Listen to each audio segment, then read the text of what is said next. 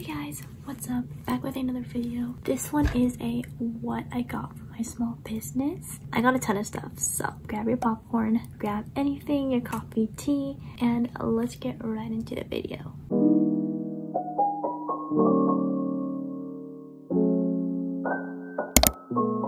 So first major thing is the Cricut Explore Air 2 that I got for Christmas. Um, it opens like this. You can cut and you can draw and I got all the markers. I also have this Cricut weeder. I also have this one. It's also kind of like a weeder. I prefer the Cricut one though. Oops. And here I have the black pens too. I normally use this because it's, you know, colorful. And then on this side here, that's like the different things I can cut. You can do customs too.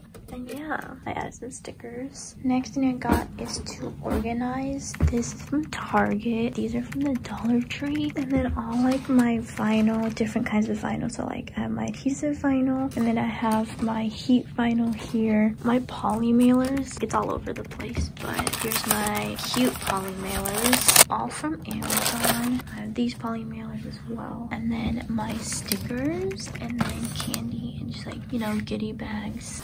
This from Dollar Tree. Yeah just like everything there. I also just got these huge poly mailers. They're like 14 by 19. I got this rack when I was a thrift page, but it's also useful for when I make my customs. Those are my customs made looks like that. I got this mannequin to take pictures in. I haven't been using it because I've been changing up like how I sell things on my Etsy and promote things and I have my ambassadors too. So yeah, then I got this mini heat press. It looks like this.